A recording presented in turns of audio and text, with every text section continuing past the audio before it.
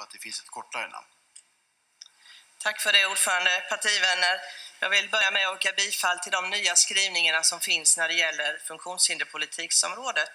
Jag tycker också att det är betydligt eh, mycket bättre och vassare skrivningar. Och jag är också glad för att, eh, precis som Helene Fritzon sa tidigare, att man också nämner föräldraperspektivet i det hela. Jag har fått lov, för er, eh, lov att berätta för er om en liten kille som heter Viggo och är sex år. Han bor med sin mamma och pappa och sina två syskon. Han är en kille som har multifunktionsnedsättningar. Han behöver sondmatas, han har svåra kramper och behöver tillsyn nattetid också. Han har eh, assistenter via ett kooperativ och där också föräldrarna får rycka, in emellanåt för att klara situationen. För mig är det oerhört viktigt att han ska ha samma möjligheter, precis som alla andra barn, att få leka efter sina villkor och sina förutsättningar. Men precis som för denna familjen som för många andra så kom dagen till omprövning hos Försäkringskassan. Från att ha haft 106 timmar så drogs det ner till 14 timmar. Och ändå säger Försäkringskassan att man inte har gjort några förändringar.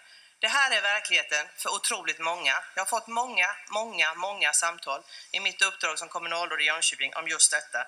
Jag vet att Åsa Regnér har tillsatt många utredningar som är på gång och jag vet också att det inte är det här som är uppdraget. Men vår uppgift som socialdemokrater är att se individen. Vi måste vara tydliga. Vi måste visa att det är individen som kommer i första skedet.